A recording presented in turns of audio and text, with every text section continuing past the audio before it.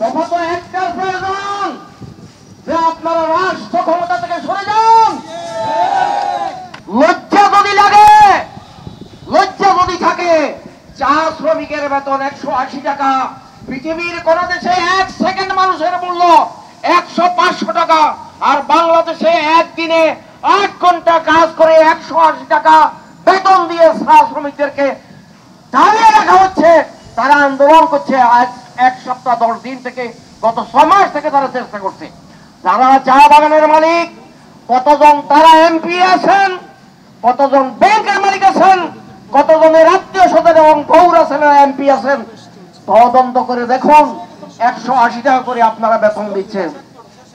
এর জন্য আমরা ধিক্কার জানাই ওই মন্ত্রীর, যে দাম বাড়ানোর পর, জনগণের পেটে লাথি মারার পর বলে, তারও নাকি গাড়ি আছে, সেই গাড়িতে জনে কি তেল কিনতে হয়, তারও নাকি সমস্যা হবে। ধিক্কার জানাই এই মন্ত্রীকে। ধিক্কার জানাই এই সরকারকে, যারা মধ্যরাতে রাজানি করে তেলের দাম বাড়িয়ে দিয়েছে।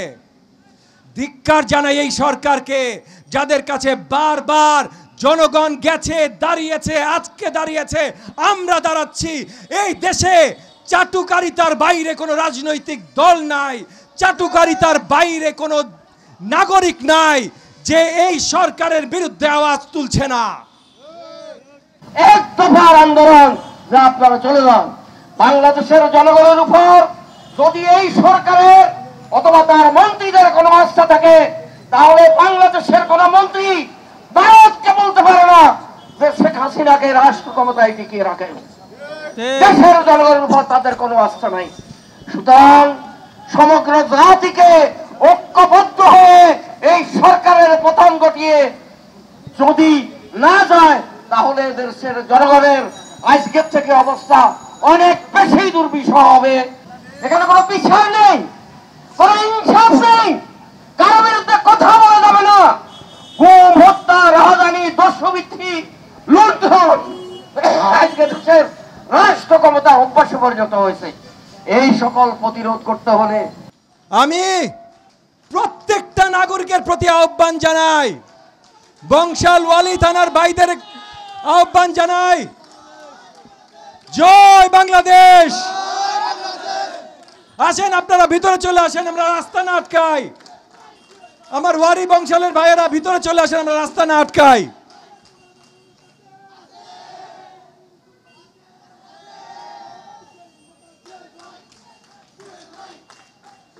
চলে আসেন।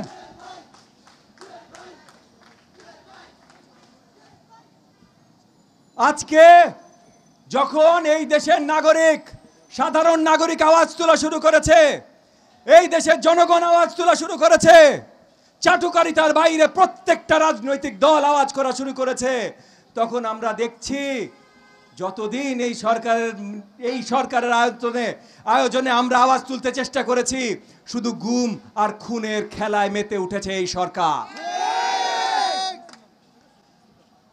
গত পনেরো বছরে আপনারা দেশের উন্নয়ন করেছেন, সরকারের লোকজন আছে। এটা প্রেস ক্লাব সবসময় এখানে সম্মান সরকারের তেলের মূল্য। পৃথিবীর কোন দেশে একই সময়ের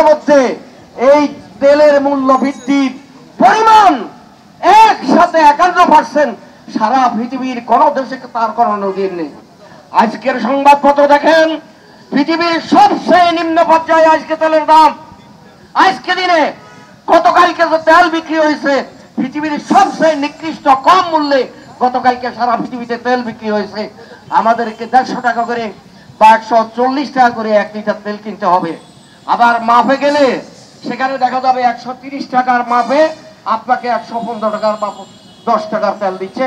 এটা আপনারা অহরহ দেখছেন। সময় নেই, মেঘ আছে, সভাপতি সাহেব বক্তব্য রাখবেন। আমাদেরকে এই অনুষ্ঠানে দাওয়াত দেওয়ার জন্য আপনাদেরকে অভিনন্দন। আসসালামু আলাইকুম। কর্মকর্তারা থাকেন। এখন আর অবসর সময় নেই। এবার সংগ্রাম প্রতিরোধের, এবার সংগ্রাম তারুণ্যের প্রতিরোধের, এবার সংগ্রাম সম্মিলিত প্রতিরোধের, এবার সংগ্রাম পরিহার্যের লড়াইয়ের সময় ছিল। এই দেশে এক যুবরাজ, যুবরাজের সরকার, এক ভবনের সরকার জনগণ তার বিচার করেছে। আর এখন এখন তো আপনি কি আপনার বাবা মা সম্পর্কে কখনো এই কথা বলবেন? আপনি তো কল্পনাও ভাবতে পারেন না। তাহলে একটা মন্ত্রী কীভাবে বক্তৃতা দিতে কথা বলে? কারণ তাদের মাথা নষ্ট হয়ে গেছে, তারা বেসামাল হয়ে গেছে, তাদের পায়ের তলার মাটি চলে গেছে, তারা বুঝতে পেরেছে, তাদের দিন শেষ। তাদের আর কোনো রাস্তা নাই। তাদের পালাতে হবে। জনগণের হাতে ক্ষমতা চলে আসবে। জনগণ এখন ক্ষমতা নিয়ে নেবে। আর সেই দিন চলে এসেছে, আপনারা প্রস্তুত হন। দেশ হবে জনতা। এই দিন চলে এসেছে। তাই স্লোগান ধরুন। অবিহার্যদের অঙ্গীকার। এনডিএম এর অঙ্গীকার। জয় বাংলাদেশ। আবার বলেন, জয় বাংলাদেশ। আসসালামু আলাইকুম। আজকে এই সরকারের বিরুদ্ধে আজকে এই সরকারের বিরুদ্ধে এখন আর অবসর সময় নেই। এবার সংগ্রাম প্রতিরোধের, এবার সংগ্রাম তারণ্যের প্রতিরোধের, এবার সংগ্রাম সম্মিলিত প্রতিরোধের, এবার সংগ্রাম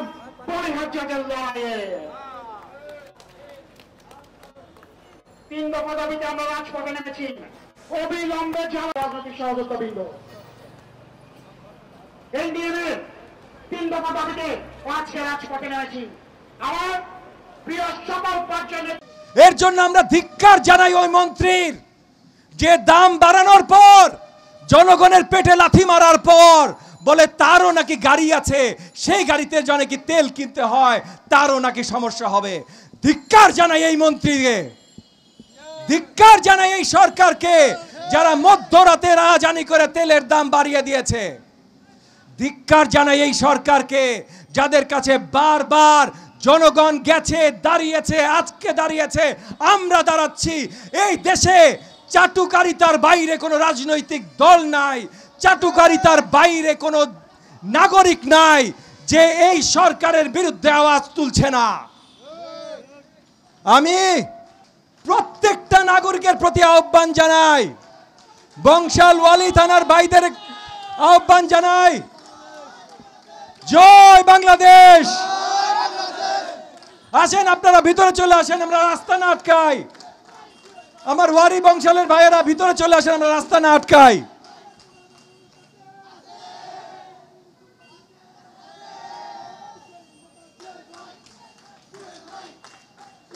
চলে আসেন!